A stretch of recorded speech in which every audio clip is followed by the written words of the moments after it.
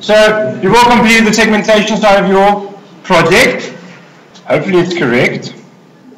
Now what you need to do, you've done targeting as well. Which industry you're going to target. Maybe not you. And now you're going to do positioning. That's what we've just covered, so now you're going to do positioning. Ta-da! Theory, and now practice. Cool, huh? Well, I find it cool. Anyways, so the first thing you need to do is list your attributes. Just like you've done. List the attributes that your clients, consumers, market is looking for in a person like you, a marketer. Remember? That's what we're focusing on. Remember? Yes? List the attributes. Then, list the competing brands and explain how they are perceived. So, I'll give you an example from my own life, which might help you. So, if I had to do this for my uh, uh, industry that I work in, which is education, I would write. Did you guys ever watch that video where I go through this, the plan, and I explain it from my perspective, education? Maybe that was helpful to you. Anyways, I'll continue with that in that light. If I had to list the attributes for someone in my profession, it would probably be well qualified, would be one of them. And the other one would be research, uh, research, um, research experience would be another one for being a lecturer. The other one would obviously be teaching experience. Um,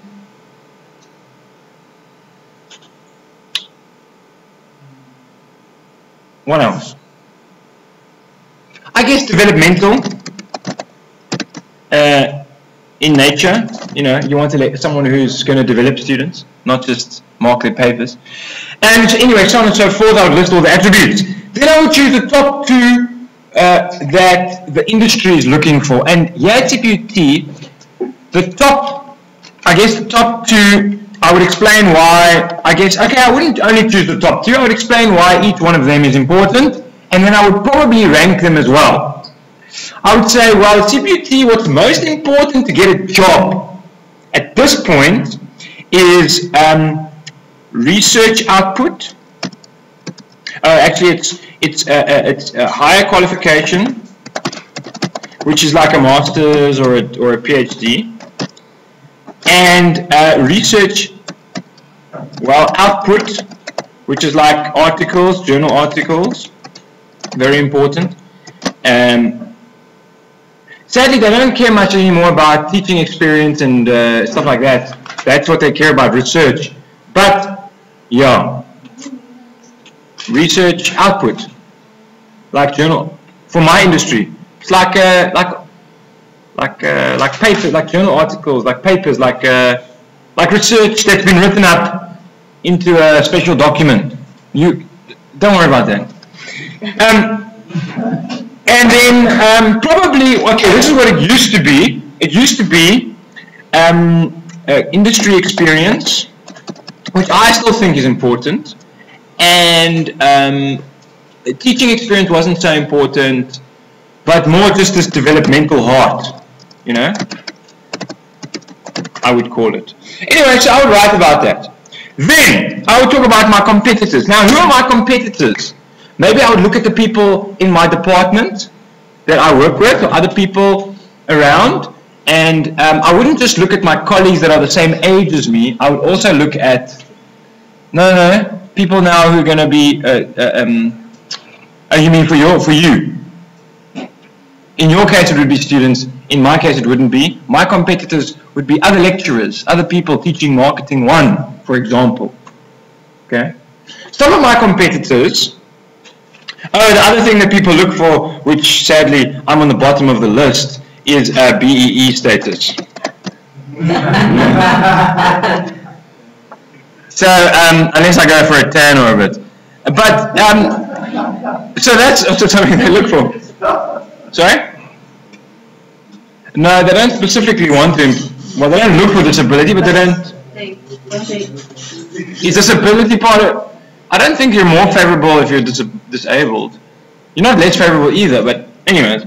Uh, so then um, I would look at my competitors out there in the industry, and I would look at people. I would look at maybe like this person who has. Uh, uh, um, I'd list all different people's names, different types of people, people with lots of lots of research experience, which I don't have. So I look at someone like that as a competitor. Then I would look at someone who is a, a, a BEE status, high BEE status, right? And the highest BEE status is to be a black woman, as far as I know. So all the black ladies in the house, you got that in your favor. Yeah, I would look at specific people. So I would mention, let's, uh, let's just use their different names. I'll just give an example. Uh, let's say that one person's name is uh, Joe, and in brackets, I would put Joe. It's a type of person, it's difficult with it when it comes to people. Let's just say Joe is my person, and Joe has lots of research experience. That's what differentiates him. Then I'm looking at, um, uh, what's a, a, a, good name? Tandy. Tandy is a high BE status. That's what she has on her side. Then I'm going to look at uh, who? Kirtley. Kirtley has lots of industry experience. That's what differentiates him, right? and so on and so forth. I would list my different competitors. Yes? Who would also be applying for a job like mine. Then I would map my competitors and I would choose what is important over here. I've got this in your thingy already. What is important yeah What are the two important kind of things? Maybe I'll even use four. Did you know that you could use four? You could use four. I'll show you how. Look, we've got four there. Okay, let's do uh, high uh, BEEs over there. Then we're going to do, um, okay, everyone is, should be qualified. High, uh, okay, then I'm going to put high research here. Oh, now I'm teaching you something new. High research. And then I would write um, teaching experience, high teaching, and on the other side I would put mm,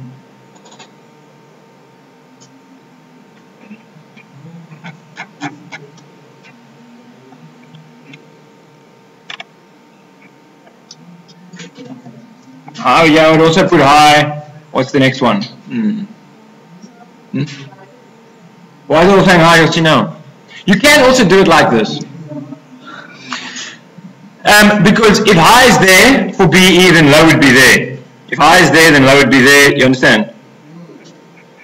So it's just, it's just, we're adding more variables now. Yeah. So high, um, the last one I would go here is, uh, yes, we don't have experience yet.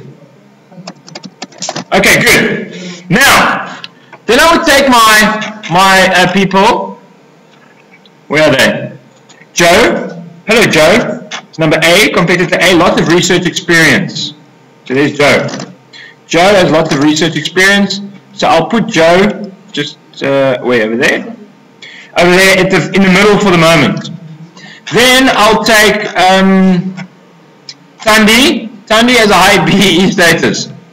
Doesn't mean she doesn't have other things, eh? High BE. Oh no, sorry, Tandi. Hello, Tandy. Are we putting Tandy over there? Then, are there any Tandis in the house? Then we've got another one, which is Kirtley. We've got lots of industry experience. Kirtley's got lots of experience. Okay. Oops. Kirtley's got lots of experience. And then lastly, we've got competitor D, let's call another lady's name uh, Sisanda. And Sisanda, I'm going to say that Sisanda has um, a bit of teaching, and obviously she's also got a BE status, so she's going to be there, right? You get it?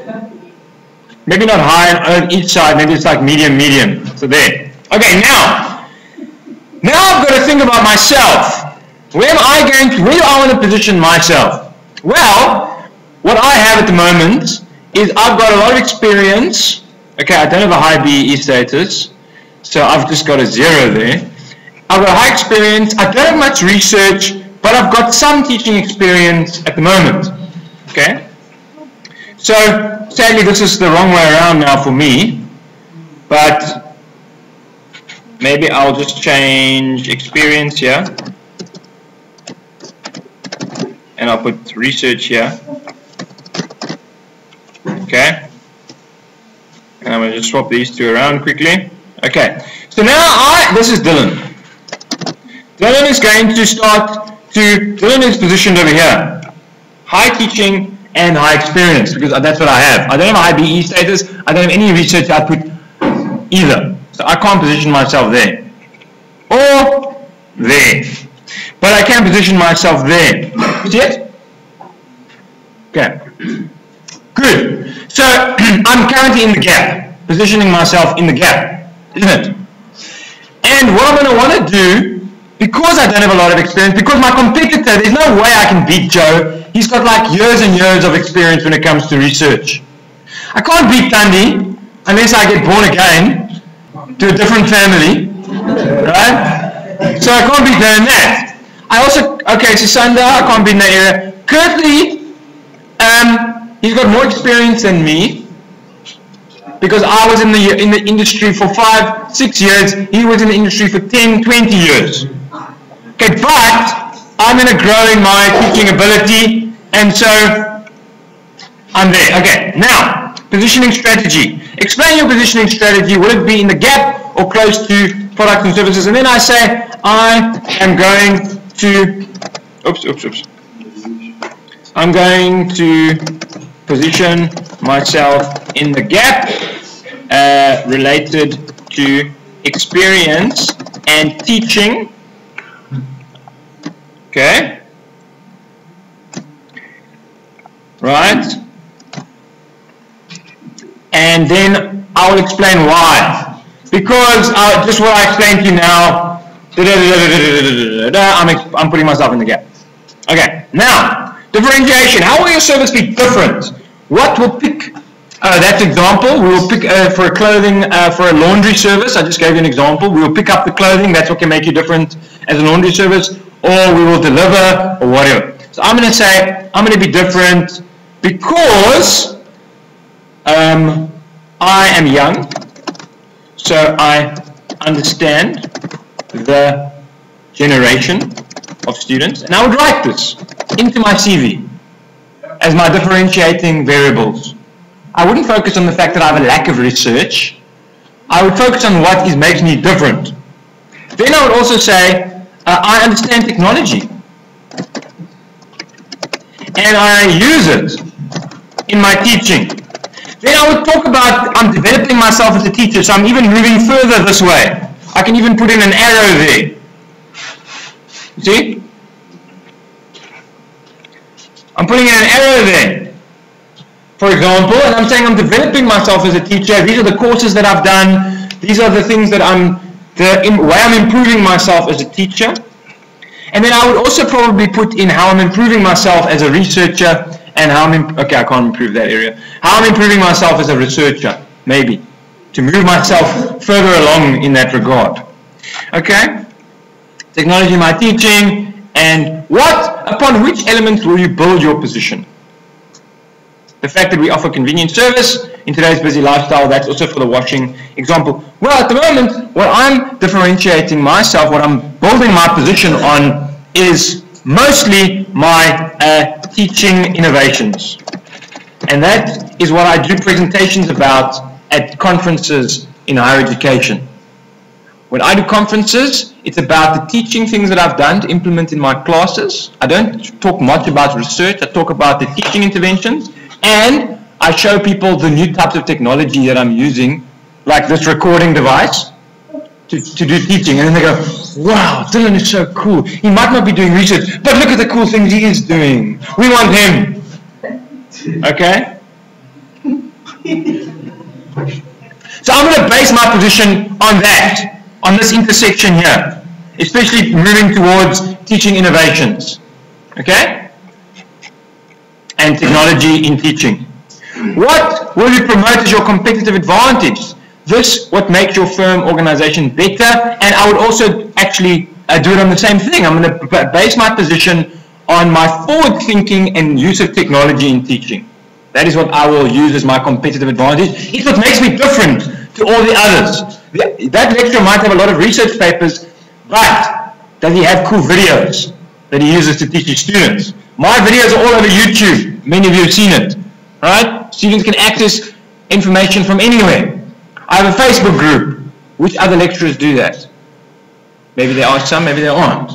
Okay? So that's how I'm differentiating myself. Competitive. What will be your USP? What is the key benefit you will highlight? The key thing. When the lecturers, when other people think about me, they must think innovation. Teaching innovation. That will be my USP. Unique selling proposition. I'm an innovative teacher. Okay? You getting it? It's my, and I have a slogan. I have a slogan even for myself. You must develop a slogan. Right? What's your slogan? Ah, I don't know. Let's think of one for me. Any ideas? Come on, come on. Help a brother out. No, but, uh, uh, okay. Uh, teaching, what? Innovative teaching for a new tomorrow. How do you like it?